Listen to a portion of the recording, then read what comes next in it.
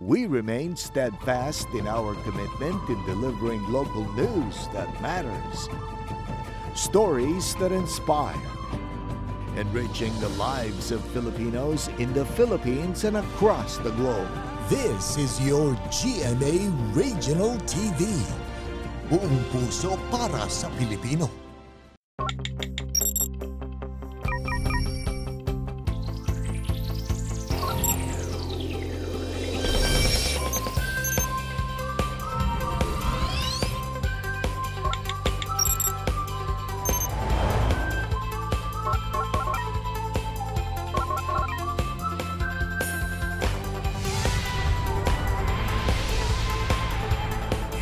Kini ang GMA Regional TV Live. Mayong buntag ug maayong pagmata kaninyo mga kapuso ug welcome dinhi sa atong paboritong morning program GMA Regional TV Live nga inyong makauban matag adlaw Lunes hangtod sa Biyernes. Ako inyong kapuso, Nico Sereno, may buntag partner sis. Mayong buntag, partner Nix. And mayong buntag sa tanan natong mga kapuso viewers nga nagtanaw gikan silang tag sa tag sa mga panimay o kaha mga opisina. Mayong buntag ka natong tanan. Ako inyong kapuso, Cecil Cubad Castro. Sa inyong angayang atangan karong buntagaw ngayon atong atangan partner says familiar gyud siguro ta sa fairy tale sa Beauty and the Yes. Beast partner. Tuna kunoy daw sa realidad ini partner atong ilailahon kining manag-uyab o atong sayra ilang love story. Wow, magpakilig di ay Uh-huh. niya atong mga bisita karon. Ug gikan sa love story, atong makauban unya ang Cebuano painter nga nakadaog sa bayanihong Subuanong painting competition.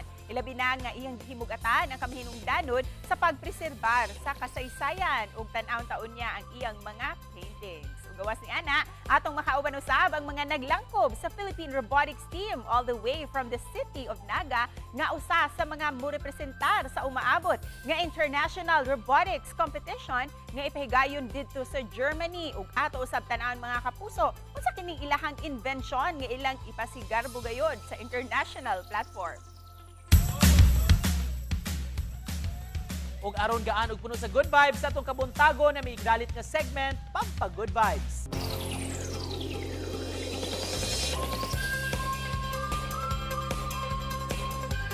Nag-viral sa social media kining Cebuano ug Dubai-based designer nga si Harvey Senit.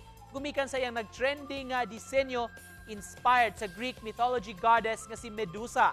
Ang iyang design nakaani og ubay-ubay nga mga reactions, shares, iman comments sa social media. Mga kapuso, atangi siya din sa atong programa kay makauban nato si Harvey Senit ug atong sayran ang iyang istorya. Sa atong mga kapuso, diha kung doon na mo yung mga pampa good vibes ng mga videos, baka mga hulagway, mamahimo kayo nga itag mi ninyo o isend din sa atong FB page sa GMA Regional TV Live. O karong buntaga mga kapuso, atong ilahon mga miglangkob sa Philippine Robotics Team.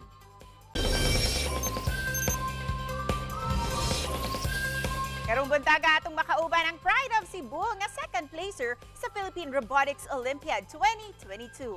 All the way from the city of Naga, atong makauban ang ilang coach nga si Ken Chan ug ang kinatibuk-ang Philippine Robotics Team. Mayong buntag kaninyo ug welcome din hi sa GMA Regional TV Live. Okay, maayong buntag sad ma'am Cecil and maayong buntag sad kanato mga kapuso. First of all, congratulations sa inyuhang team for bagging the second place sa Philippine Robotics Olympiad 2022 national level nga gipahigayon dito sa Quezon City. Kumusta ang moong experience? Actually ma'am kay happy jud kay nga experience nga naabot jud mi didto sa kuan sa Quezon City to represent our school and our division our city of Naga our own. And also ma'am kanang wa jud mi nag-expect sad ma'am nga makadaog sa jud mi Busa, Coach Kent, mamahimo ba nimong ipaila-ila kinsa ang mga naglangkob sa inyuhang team ug unsa pud ang mga grade level ninyo? Okay. So, ang among team day, ma'am, kay nag-consist ni siya sa nila. So, si Kyle Hensley Tumabyaw, kani siya, ma'am. Si Ross Jersley, Babatid, and Ziggy Paraiso, ang atong senior high school students from City of Naga Integrated Center for Science, Technology, Culture, and Arts. Og apil sa maong sa among team ang among kuano School Division Superintendent Dr. Rosalie M. Pasaol, ang among school head nga si Miss Elaine Glaze M. Cases, and Division Coordinator Mr. Redan Bastismo, and and our consultant Mr. Kent Xavier Obas. And our also to our coach, ay to our supporting toan si Sir Jun Leo Panyares. Can you share with us this morning unsa ning inyuhang gi present nga robotic project unsa ning technology nga inyuhang nadag-an? Puan ma'am kanang ang among robot jud ma'am kay gigamit namo is Lego Mindstorm AV3. Diin ang task sa kani nga robot ma'am is to mutabang sa hospital jobs sama sa magkolekta sa mga bulingon, magmuhatag og food service sa mga pasyente sa matag room, O karon nangandam na mo para sa World Robot Olympiad sa nasod sa Germany. Kumusta ang inyuhang pagpangandam alang niini?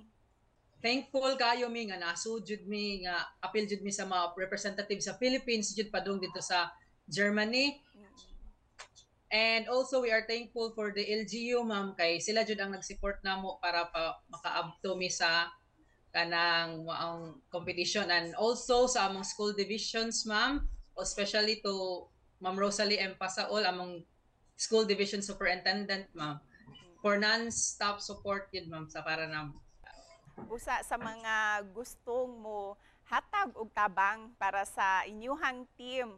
Pwede pwede nili mo gamiton nga opportunity para makapangayo mo og support. Sa atong mga kapuso, kami mangayo og suporta sa programa ni Panguluhan sa mga PTA headed by our PTA President, Mr. Joel Matosa. DN, naghimo sila og peso Gcash para sa robotics team para namo. Okay, papadung papuntang Germany.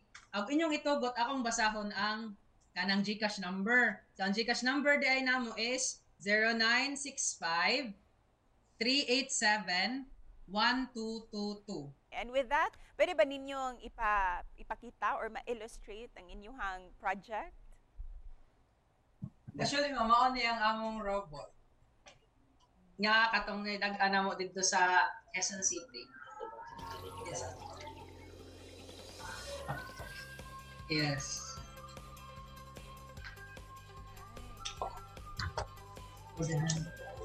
Pwede ba nato ma-explain unsaon pag function sa inyuhang project? ang ang pag do sa among robot is through program computer to input our program to this robot nga mo perform sa iyang task nga what which is kuhaon ang laundry sa mga patients and mga food service sa hospitals And with that, we're very excited sa umaabot ninyo nga kompetisyon dito sa Germany. Ug isip panapos, unsay mensahe ninyo para sa ato ang mga viewers karong buntaga? Okay. So, magpasalamat ko sa opportunity nga gihatag sa GMA Regional TV no nga gi-interview jud mi para ani yun. Ag mapasalamaton sa sa bako sa among mayor no nga si Mayor Valdemar M. Chong sa among school Division Superintendent Dr. Rosalie M. Pasaol and all-out financial support and motivation jud sa mga bata. Daghang salamat kaninyo Philippine Robotics Team. Godspeed kaninyong tanan.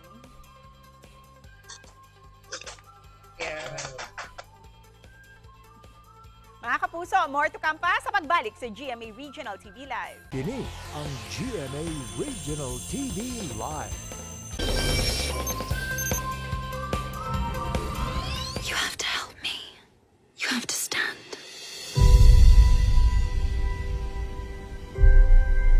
If she is the one who'll break the spell, you must finally learn to love. Tell us old as time. Have you really Tale as old as time. Kini ang napiling prenup concept ni engaged couple nga gihart sa mga netizen. Daghan na nakuryoso kung nganong Beauty and the Beast ang ilang napiling konsepto. Ado na ba kini koneksyon sa pagkahimugso sa ilang love story nga misangput na sa kaminyoon? Na ba nila ang gitawag nga happy ending sa matag fairy tale? Kanang tanan, dungantang mahibawan kauban ng engaged couple nga sila Yuki Viador o Billie Jean 5 dinhilang sa GMA Regional TV Live.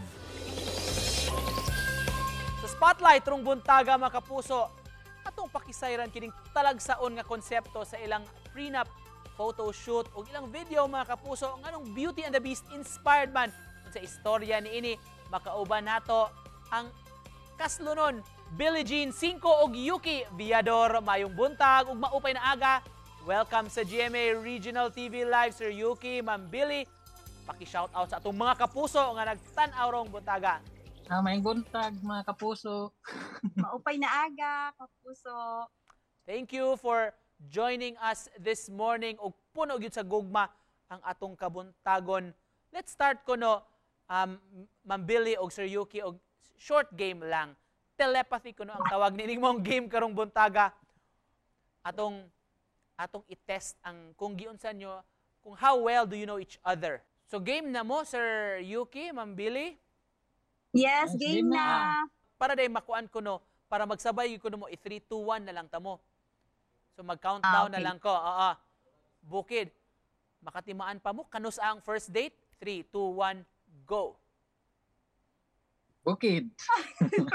First day, Kanus bukid. Um, Mga August to before August. Saturday. kalimot. Why problema? Understandable. Kaya ang ang date mo, ragliso jud kayo mismo ang exact date atong ma mahinumduman. Number two, kanus ako no inyong anniversary. August 20, August 20. 2020. 2020. Of course. Kana very memorable nga day og dili gyud dapat malimtan. First gift nga gihatag ni Sir Yuki kang Mambili. Sleepers. Let's talk about your love story. Naabot na mo sa punto nga musod na mo sa kaminyuon. Unsa may gibati ninyong duha karon?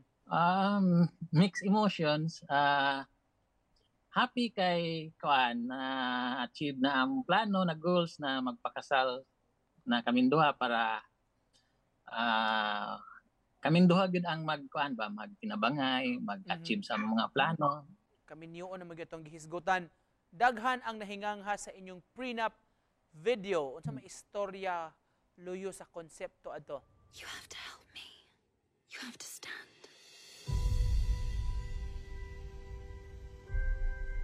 If she is the one who'll break the spell, you must finally learn to love. Actually, wa mi nag nagdahom na mangin anak dito ang ang among video murag ah, play lang yung ba nagduwa kung unsa ang Ang among concept. ang Oh. concept then Mhm. binuang nga may kay tungod November man ang among among kasal so we think na mag-custom-custom eh.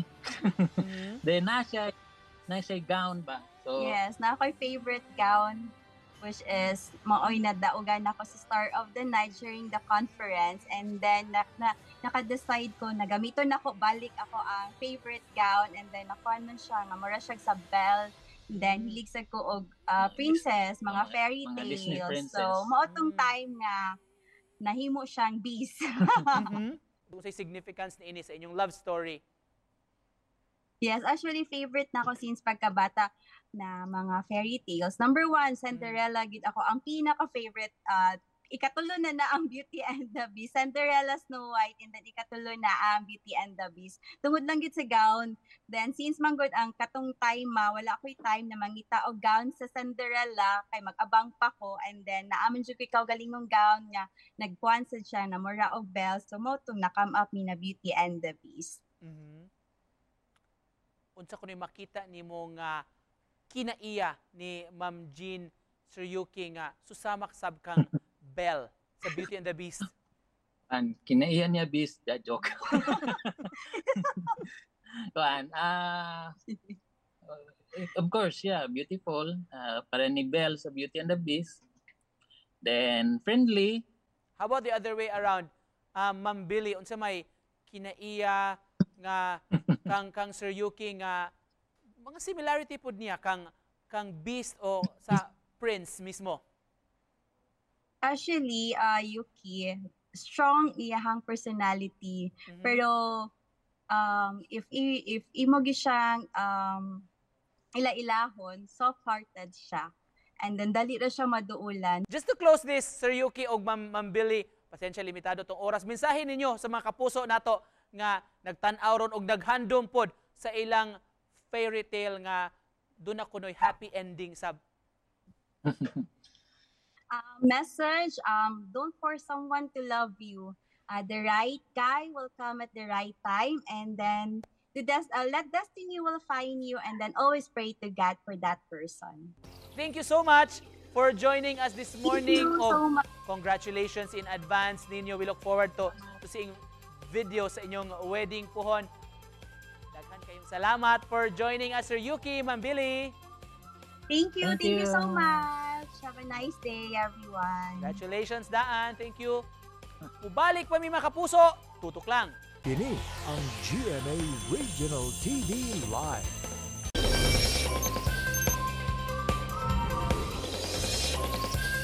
Kini ang winning entry sa karkaranong pintor nga si Adrian Perolino din iyang gidibuho ang hulagway sa kanhi gobernador nga si Juan Faler Clemaco. Siya ang nakaangkon sa unang ganti sa bayaning Sugboanong painting competition nga gipasiugdahan sa Cultural and Historical Affairs Office Cebu City.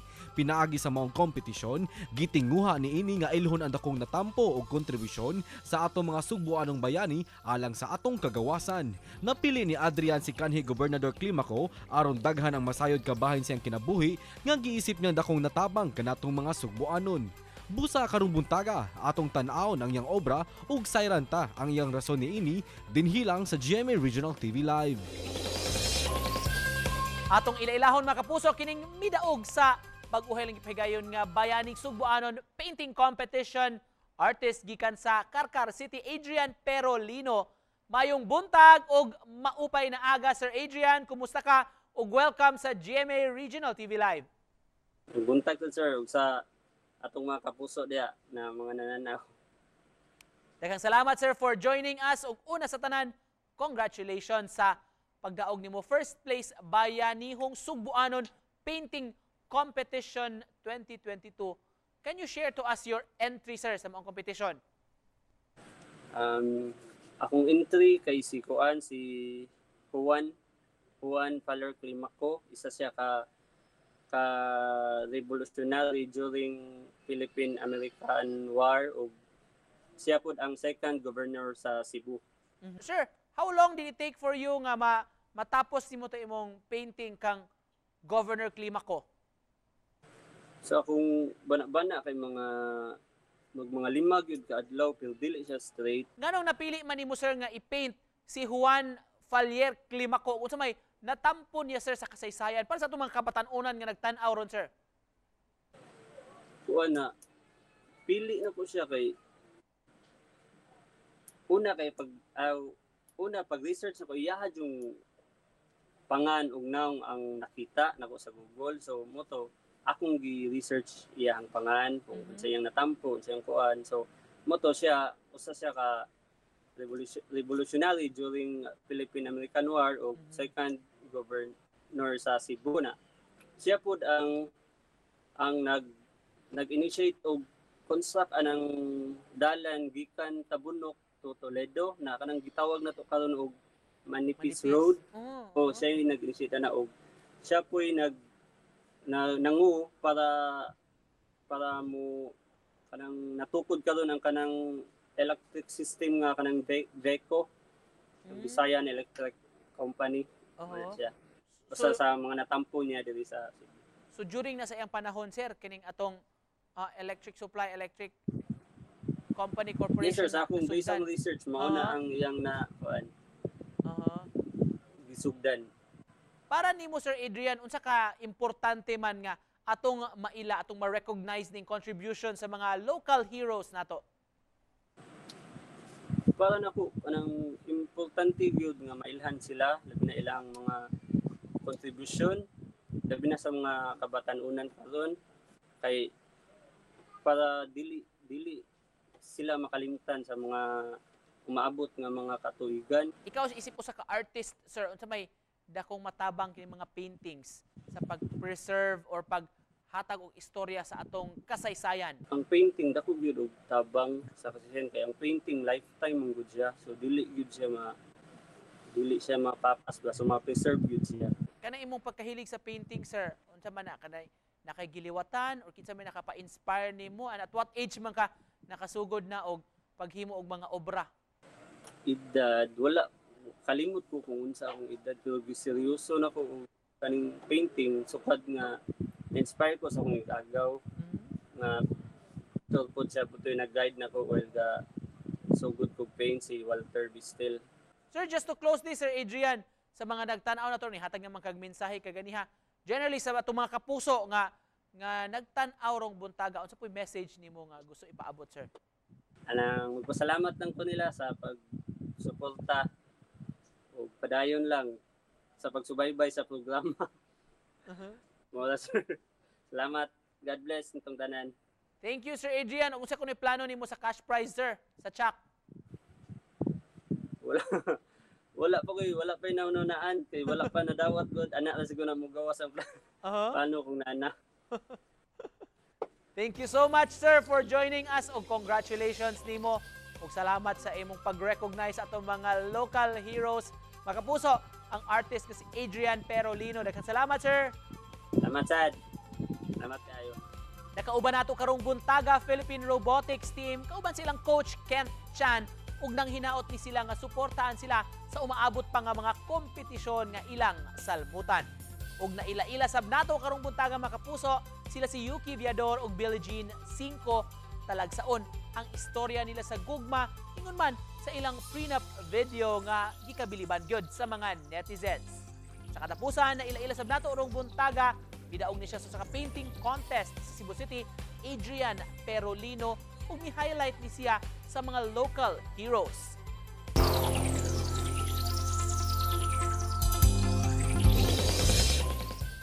Murag tanan man siguro partner ng hinaot ug nag-ampo og fairy tale ending. Oo. O, di ba? Oh. Gawa sa fairy tale ending. Mangita sa sila og the one. Sa Mhm. manini ko. Nangita sa iyahang the one. Wabot ka pa na sa tukmang panahon. Matud pa sa to na interview kay ganyan. Tinood, tinood. Pamatuod jud to na what is meant to be will always find its way back to you. Para jud. And with that, ano na kami ibilin nga pabaw. Hinigikan sa sikat nga fairy tale, ang Beauty and the Beast. Think of the one thing that you've always wanted. Now find it in your mind's eye and feel it in your heart.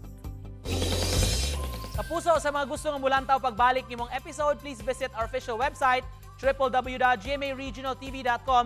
Bisita sab among official YouTube channel, GMA Regional TV, and please click subscribe. Daghang kayong salamat, kapuso, sa inyong pagsalig sa programa. And more inspiring stories to come pa sa tutok lang matag buntag dinhi sa inyong kapare sa pamahaw matag adlaw ang GMA Regional TV Live. That in all things, God may be glorified. Stay strong ug stay safe, mga kapuso.